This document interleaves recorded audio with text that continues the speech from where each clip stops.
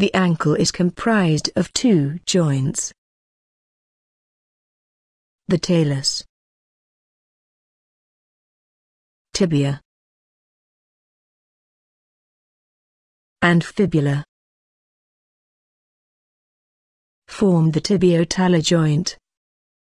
Whereas the articulating surfaces of the talus and calcaneus form the subtalar joint. The ankle is not a simple hinge joint, and the motion of the ankle is composed of different rotational and translational movements. In sum however, these movements allow us to extend and flex the ankle. We will here concentrate on the tibio-talar joint.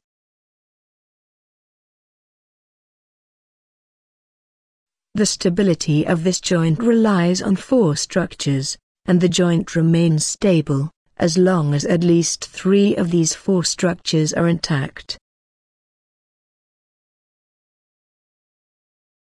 In the front view there is a ligament called the anterior syndesmosis, that helps keep the tibia and fibula correctly positioned, thereby stabilizing the mortise.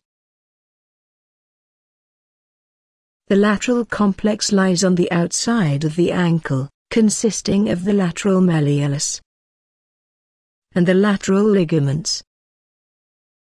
Inversion injuries of the ankle are quite frequent, and results in tearing of the lateral ligaments. These injuries involve predominantly the anterior, talofibular ligament.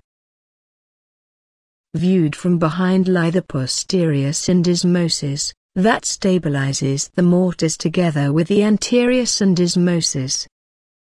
The medial complex is localized on the inside of the ankle. This complex is comprised of the deltoid ligaments and the medial malleolus.